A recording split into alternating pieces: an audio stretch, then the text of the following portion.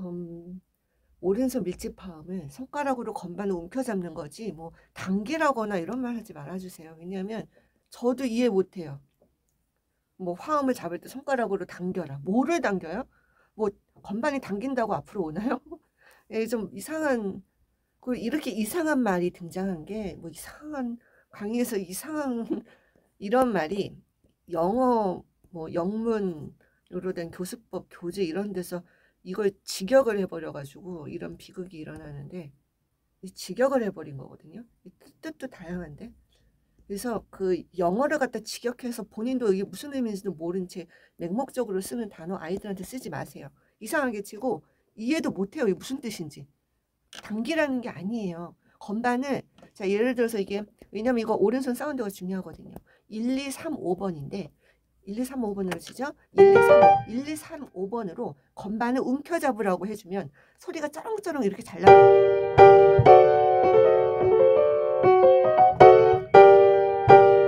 이렇게 쩌렁쩌렁 소리가.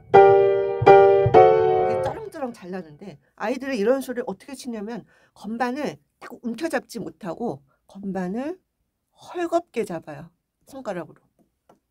터치가 약해서가 아니라 늘 그렇게 쳐왔기 때문에 이런 소리가 들리죠. 이래가지고 이 곡이 파워가 나겠어요. 소리가 이렇게 쩌렁쩌렁한 소리가 들려야 되는데 이거는 건반을 누르는 게 아니라 움켜잡는 거예요. 그래야지 소리가 좋은 소리가 나요.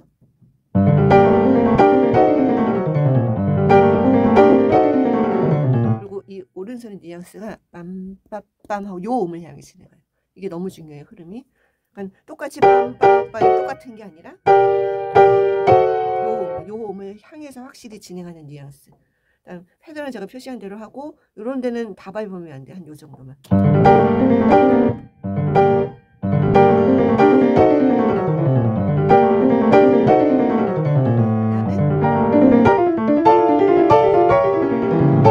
지금 이 이 두 마디 이 아니 두 마디 이 두 줄에서 가장 극적인 진행이 요 부분이에요. 그러니까 뭐 어디는 크게 치고 어디는 작게 치고 이게 아니라 흐름이 어 이거 그림으로 그리면 첫 두 마디 작은 언덕 내려오고 또 두 번째 작은 언덕 내려오고 그 다음 두 번째 줄에서 큰 언덕 요런 흐름이에요. 이걸 그림으로 그리면 그러니까 처음에 처음 작은 언덕 작은 언덕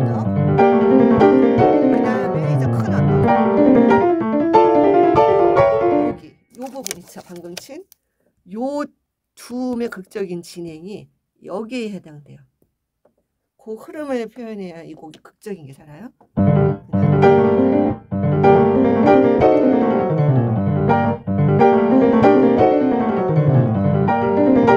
그렇기 때문에 여기 시작부터 전력 주고 프로텔 하면 안 된다는 거예요.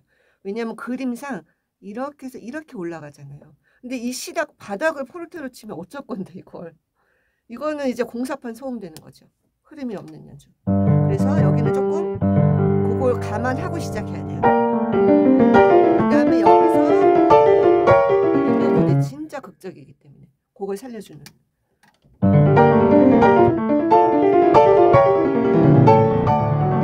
그다음에 여기 손가락 번호가 안 나와 있는데 참 애매해요. 제가 두 가지 시도해 봤어요. 요 번호로 그래서 얘를 5, 1번으로 바꾸는 거랑 4, 1번으로 바꾸는 거랑 두 가지 경우의 수가 있어요. 뭐 다른 번호는 말도 안 되는 거고 자, 4, 1로 할래? 아니면 5, 1로 할래? 옵션이에요. 여기 파샵에서 레로 가는 요거. 이게 검은 건반이거든요. 그래서 제가 두 개 다 해봤는데 4, 1이 더 불편해요. 더 이상해요. 저는 지금 5, 1로 했어요. 그럼 5, 1번 막 되게 어렵지 않냐 그러는데 되게 수월해요. 왜냐하면 이걸 억지로 돌려바꾸는 게 아니라 그냥 이렇게 스쳐가듯이 스쳐가듯이 그냥 가는 거 얘를 툭 띄고 가는 게 아니라 막 손을 꺾어 돌려바꾸는 게 아니라 그냥 이렇게 스쳐가듯이 가는 거라 이건 막상 해보면 알아요. 5, 1번이 더 쉬워요. 편하네요.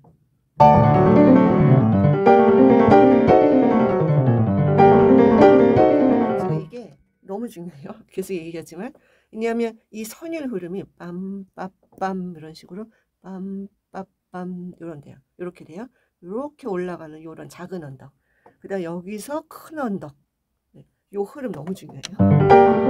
그래서 똑같은 게 아니라 요 음을 확실히 진, 요 음으로 진행하는 뉘앙스.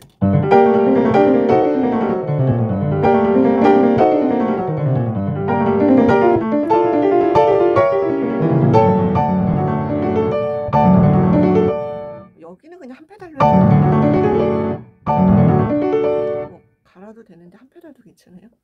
그러니까 연습 방법은 잠깐 더 나가기 전에 연습 방법 보면 이런 곡은 어, 당연히 에티드니까 메트로놈 놓고 느린 빠르, 빠르게 쓸 때 메트로놈 키지 말고 느리게 쓸 때 메트로놈 놓고 치는데 8분음표 하나로 놔야 돼요. 꼭 4분음표 하나로 넣으면 큰일 나요. 그러면 4분음표 하나 칠 동안 6개를 완벽하게 뭉갤 거예요.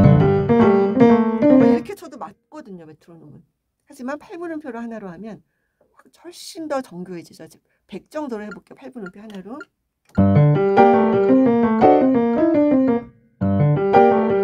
이렇게 돼요. 이거 하나 할 때 손가락이 정확하게 따가다 따가다 세 개씩 탁탁 나와야 돼요. 하나 할 때. 하나, 둘, 이렇게. 그래서 손가락이 뭔가 분기 잡히게 움직이죠. 뭉개지지 않고. 근데 이게 너무 빠르다 그러면 한 90? 이게 가장 좋아요. 너무 느려도 그렇고 연습 속도는 90으로 시작해서 조금씩 조금씩 올리는 연습. 그렇게 연습하면 되고 그다음 그다음 너무 중요한 게 뭐냐면 이제 점수가 완전 갈리는 게 첫 번째 페이지 흐름이라면 그다음에. 그다음에 이거 끝나고 나오는데 심서연이 제일 싫어하는 연주는 이렇게 나오면 이제 끝이에요. 어, 집에 가 안녕 이래요. 네. 얼마나 듣기 싫겠어요. 지금 여기까지 굉장히 남성적이고 박력 있고 파워 넘치는 느낌이었으면 여기서부터는 완전히 분위기 역 분위기가 완전 반전이에요. 네, 완전 반전. 되게 이제는 되게 여리여리하고 여성스럽고 서정적인 완전 이게 피아노라고 나와 있지만 이게 그냥 작게가 아니에요 사실 제일 중요한 게 이거라고 그랬죠 밸런스 보이싱 왼손 엄청 제가 왼손만 잡을게요. 왼손은 이 엄지 있죠? 이 화음 전체를 꽝꽝거리는 게 아니라 엄지. 네, 네. 그러니까 왼손도 나름 보이싱이 돼야 돼요. 이 위에 소리가